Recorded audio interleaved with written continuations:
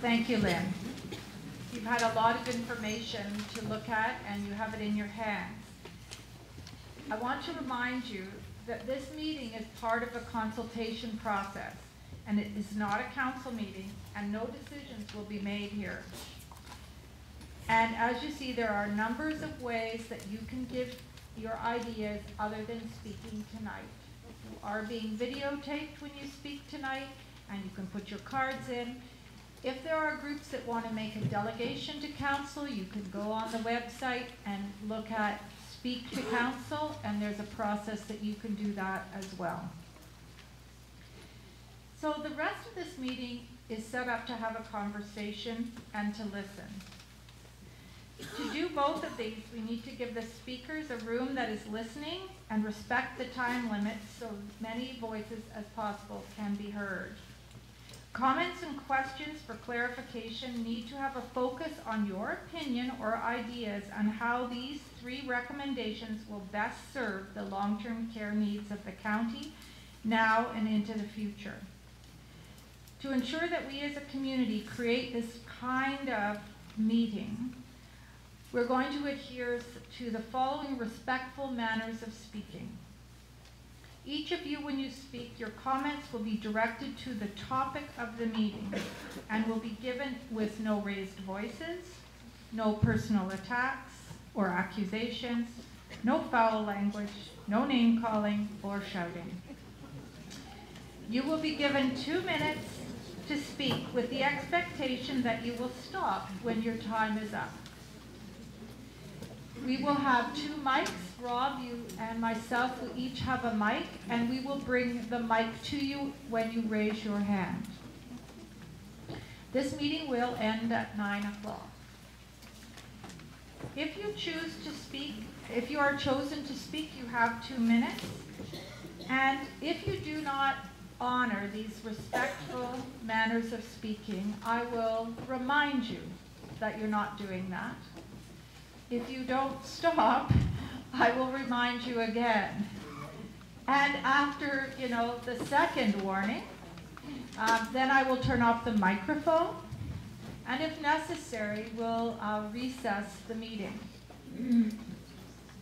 If people are not respectful, we will then adjourn the meeting and the meeting will not reconvene. So this is your opportunity to respectfully give us the, uh, ask your questions. Lynn and Kim are here to answer your questions and to give your opinions. And so I know that we can all do it in that way. And so we'll start now. Where's Rob with the mics? And if you raise your hands, we will we will go from one side of the room to the other, and we will give you your two minutes. We have somebody who's timing, and she will let us know um, every two minutes. I put her under a lot of pressure tonight. Thanks, Tim.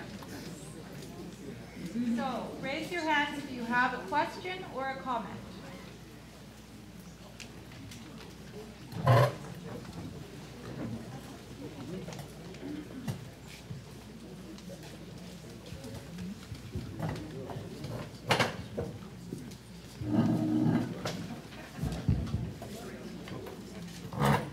Hello, um, I'm uh, Teresa O'Connor, and I'm with um, OPSEU. I'm um, currently working on our We Own It campaign, which is a campaign to fight privatization.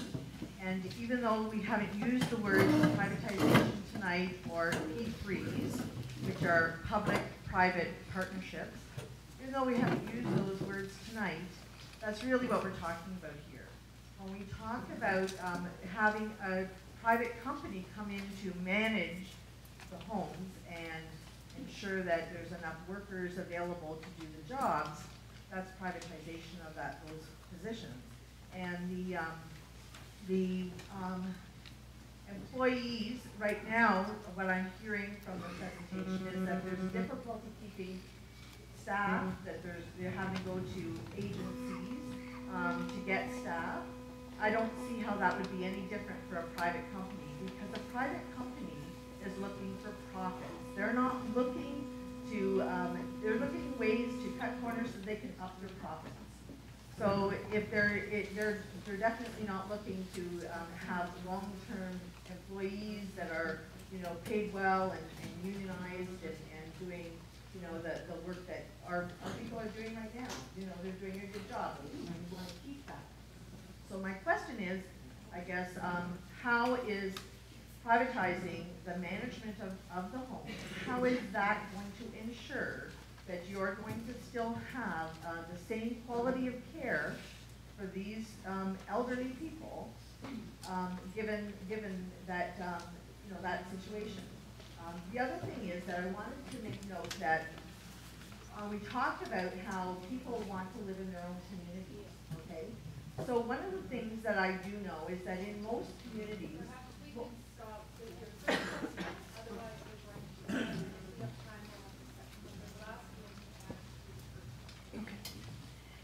This is not about privatization as far as how we operate our homes or how we deliver care or service. Currently, we purchase policies and procedures from an external company to, so that we're not spending hours trying to research, develop policy, and we can focus our intentions on providing care. So we're not talking privatization. We are looking for an external private company who provides care in a lot of homes to give us that next level, to help us with our quality improvement plans, to make sure we're meeting the ministry requirements for long-term care. We've seen the standards for long-term care increase huge amounts over the past few years since the implementation of the 2010 Long-Term Care Homes Act. And we're struggling every day to make sure we're meeting those requirements. We do not see that the management company would be, have a magic wand and all of a sudden would be able to recruit and retain staff. That is a local problem that we need to continue to work on.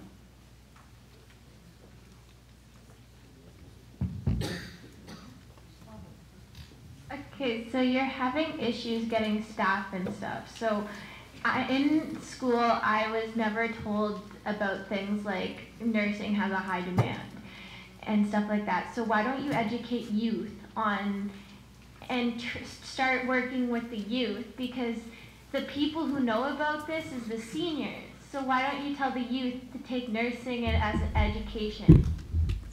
That's a really great suggestion, and we'll put that on the list. Put that on the list. Good idea. Questions? Be one back here, Pat. Okay. Uh, Dan Sullivan, I've been with the uh, committee that's been trying to work with Grey County over the past 10 months to get them to see some additional data that this community here provided, and like that should stay here.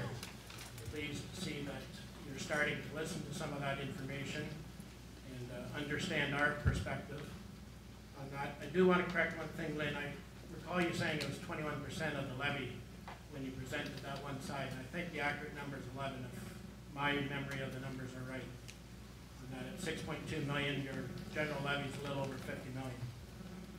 Um, I also note that you noted Grey County has 40% of the beds in Grey, but I also recall a report that went to social services that indicated Grey County, compared to the provincial average, spending less on long-term care than other counties. Again, I think it's a matter of making sure the information is well-rounded, all sides are being presented equally and and fairly. The issue deserves that. Uh, I also believe the LHIN, looking at it, has taken a stronger position to keeping beds in here because they've looked at the private uh, side of things. Certainly their updated reports show some of the beds that will be moving within Grey and Bruce and uh, leaving this general service area and again, that's why the beds made sense here, but my concern there is that we're still leaving our communities at the whim of private enterprise. And that's where we look to governments to provide that stability. And believe the three homes within the triangle of Grey County, being as large a county as it is, provides a good set of bones for long-term care within Grey County. And, uh, it's a service like any other. It's much like the county roads. If you take one of the bridges out of one of your communities, you destroy it for the future going forward. And I see this much in the same way. Thank you very much. Lynn, would you like to respond to the numbers? Yes, I will. For the long-term care budget, twenty-one percent of our budget is does come from the tax levy. As part of the bigger Grey County budget, eleven cents of every tax dollar that is collected across Grey County is directed to long-term care, okay? Um, regarding the amount of money Grey County spends in comparison to other municipalities, I did go out a number of years ago, and it was really difficult to compare apples to apples. Each municipality charges or contributes certain costs towards long-term care and certain capital. It's how they do their back um, accounting. You know, are computer costs charged to long-term care or are they not? Some of those things, it was really hard to identify. And at that time, the um, idea was that we were about the middle of the pack. We weren't spending the least and we weren't spending the most. But at this time, we do know that forty percent of the beds in Grey County are operated by the municipality. Thanks, Lynn. You have a question? Yes, I do. Um, Yeah, I just wonder uh, why we don't just say no. Uh, Quite frankly, if I take a look at the big picture in the small towns, downing schools and now doing away with um, senior residents, it- I'm starting to get a picture that they want to just squash small towns. Why don't we just get our big pants on and say no?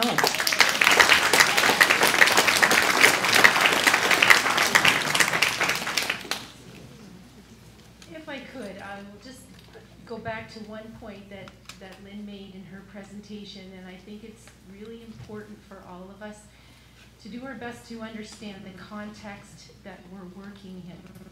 Long-term care is a high, highly regulated service that is controlled by the province through the LHIN. The province looks at the supply of long-term care beds on a system-wide basis. And as Lynn showed you on the slide, Grey County has been very blessed with one of the highest supplies of long-term care beds in the province. When you looked at that slide and you saw places, high population places, like Halton and Peel, town of Milton, with a, well over a third less supply of long-term care beds than we do. And we all, I think, are aware of the fiscal situation that the province finds itself in. I think we have to consider carefully that there may be some competition in the system.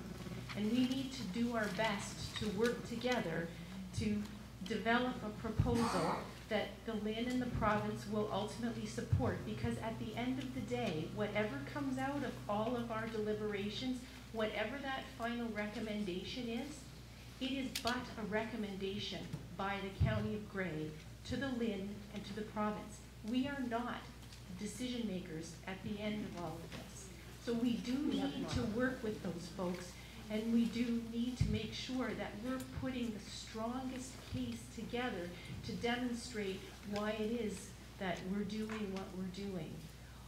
Throughout all of this, I think it's been really clear, we want to hang on to uh, these one hundred and sixty-six beds in South Grey. That's the key. So putting together the two facilities in one, and we've talked about some of the reasons for that, but fundamentally, what we're trying to do is ensure that there is no loss of those beds. When Lynn talked to council, and some of you were there at that presentation, we also gave some information there about timelines and where we are. That Rockwood Terrace license is up in twenty twenty-five. And that, that's the deadline that we need to meet for redevelopment. But prior to getting to that final deadline, there are other deadlines in the process where the province can say, hmm, it seems to me perhaps you're not moving forward here. And they may decide that they want to take another decision. So they have the ability, and, and do with all long-term care homes, to speak within that last five years of your license to be able to say, we're not going to continue with this. So we are very, as staff, very conscious of that. And so, again, I'm just trying to, to, there's a very broad picture here beyond our own individual communities. And we just want to make sure that, you know, I think our best case is one where we go forward together. Okay, other questions? Uh, I have one here. Thank you, Pat. I understand you're on the horns of a dilemma. And I understand that.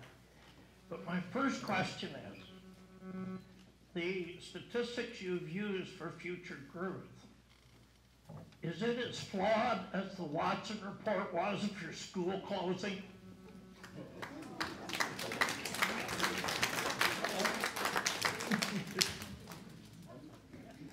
The county undertakes a growth management study every five years, so we do have our own statistics.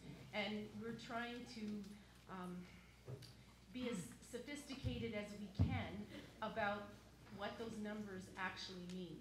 We know that in parts of Grey County, not only do we have permanent residents, but we also have um, second homes and people who may be making decisions at some point in their life, either to make that second home their permanent home, or folks that may be moving back to um, the city, if I can use that term, um, because that's where their family is. That was part of the um, assistance that um, CBRE gave to us because that's their business is really um, understanding the, some of the details around that. Certainly, any kind of population projections is a bit of a dark art, and it's, again, all of our jobs to look really critically at those numbers and ensure that we all believe in what they say and that it makes sense, and we're trying to do that. One more question. Yes, thank you. That was good. Um, one of my other things is, when are the school boards or the counties gonna take on the LHINs who were set up to divide and conquer when it came to the provincial government so they get their way and we don't have a say? I don't, you know what, the, the LHIN has been very, um, yeah, they've been great to work with. Every question that we've asked, they've come back and, and worked with us. I can't speak for the school board, and this is not a, an education meeting, but certainly the LHIN, from a system planning perspective, and as, as somebody who would help us, um, give us more information, help us to get to a meeting with the Ministry of Health, so we can try to state the case for why rural Ontario and Grey County, um, deserve to be looked at a little bit differently. I can't say enough good about how they tried to help us. Thank you. Other questions? Hi. I see by your projection about uh, how, how you're setting up for the seniors, but according to Ontario.ca, the Ministry of Senior Affairs, say that by the next 25 years, the population of seniors is going to double from 2.2 million to 4.4 million. So how are you setting up uh, the West Grey uh, the Grey County area for all those seniors, because not all of them will just stay home. They need, uh, help, they need, uh, uh, um, more care. So how are you set up that one? The ministry recognizes it as a challenge, and we do as well. What we have heard from the ministry loud and clear, there are no new long-term care beds at this time. So that we can't change. What we can support is maintaining the beds that we have in this area and doing the best we can with them. Part of this plan was to look and say, what is the area of service that is missing for our seniors in South Grey? And that's assisted living, memory care, and seniors apartments. That's a gap. And only ten percent of seniors or people over the age of seventy-five are anticipated to need long-term care. So by having that huge gap, there's a lot of people out there that will not get care. Doesn't sound right. Other questions?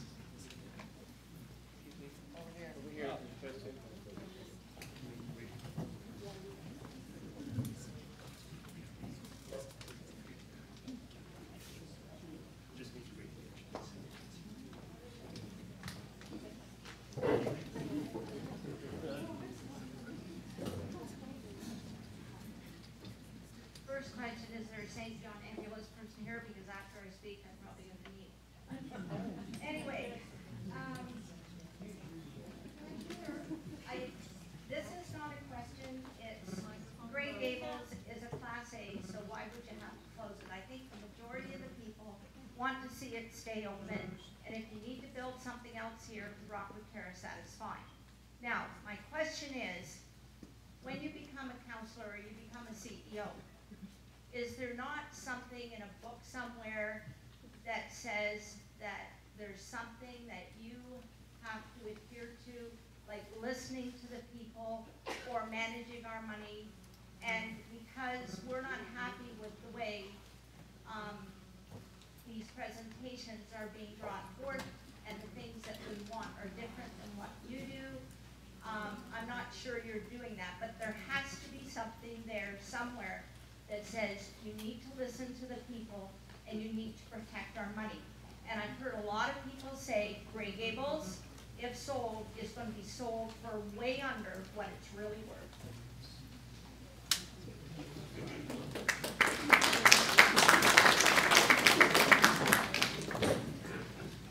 I hope by having these meetings and by being here with you, Lynn and I are demonstrating our commitment to listen and to hear what you have to say.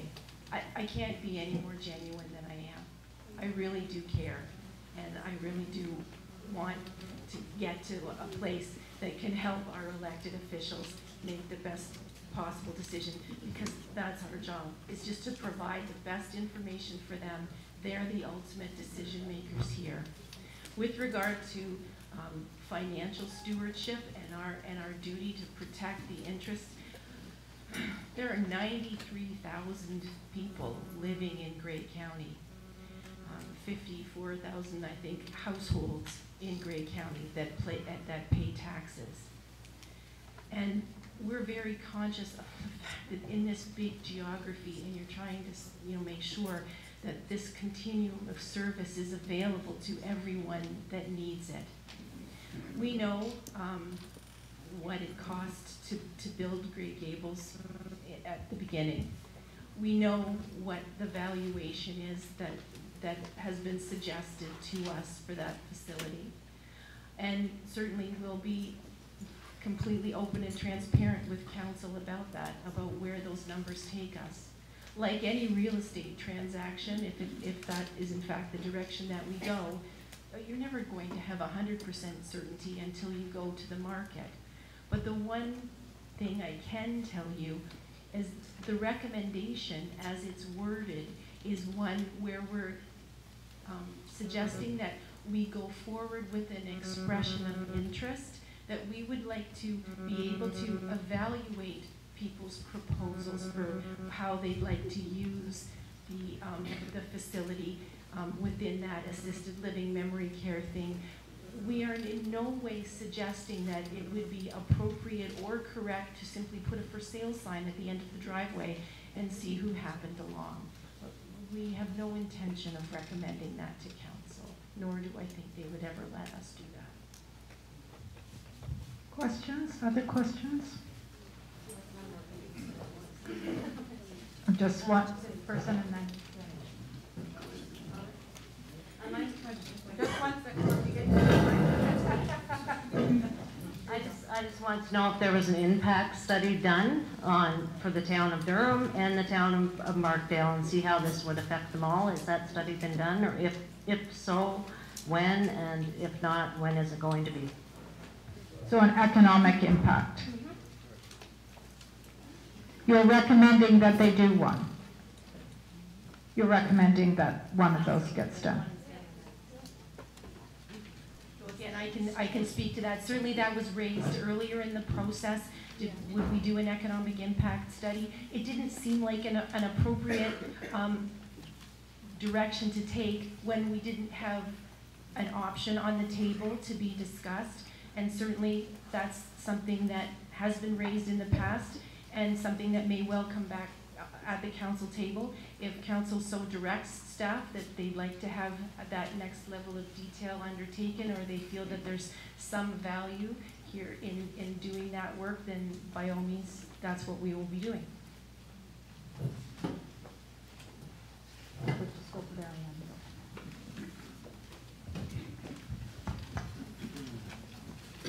name's Hank DeMark and my wife Margaret. We've been here for 17 years. We've had three parents go through Rockwood Terrace, dear to our heart. Uh, Closing this facility down affects a great number of people, not only at Rockwood Terrace, at our hospitals, nurses, doctors, pharmacies, not to mention the number of small businesses. And we've been here 17 years and we've seen businesses come and go. It's, it's kind of disheartening sometimes to see things closing down. I think we should be moving ahead. And uh, so uh, that was, that's one of the comments I had. And, and losing uh, Rockwood Terrace would mean losing hardworking, caring, committed people that are a tremendous asset to our community. And I've, I've got to know a lot of them on first name basis that work there because of our parents being there. Great bunch of people. I, I, in fact, I tried to get a bed there myself, lined up. I like it so much. Uh, we have enough empty businesses, uh, establishments sitting empty as it is in Durham. We have enough that even some of them should be knocked down at this point. Uh, the more businesses uh, leave, the more our property value goes down on our houses. Renovations can, can, uh, can prove, I've been a builder for 50 years, renovations can prove uh, to be cost effective uh, more than building a new, uh, in certain, building new in certain incidences. And uh, hiring local contractors, subcontractors, and suppliers, keeping the funds around our own court. That's just my comments. Thank you.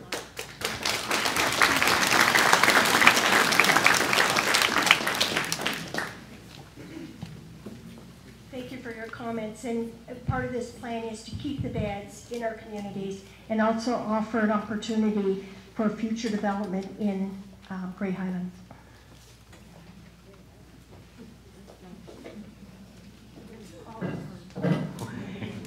I'm Mike Farrell. Uh, my wife and I have lived in this community for some 35 years. Uh, I, I feel for you guys because the decision isn't yours either. And I don't know whether you're just here to see how mad we're going to get when you make the wrong decision.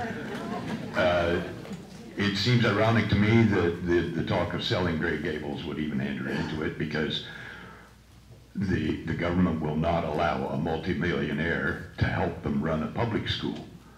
So where this, where this public-private plan is coming from, I don't know. And I'm a little offended by pie charts, financial pie charts.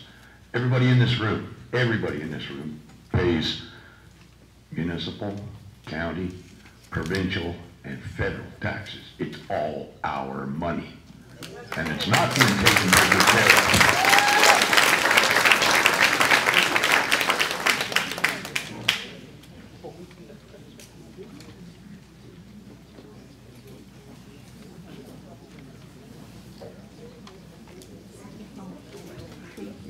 Um, the Auditor General is the person who looks at uh, the provincial finances and tells us, you know, whether our money is being spent properly.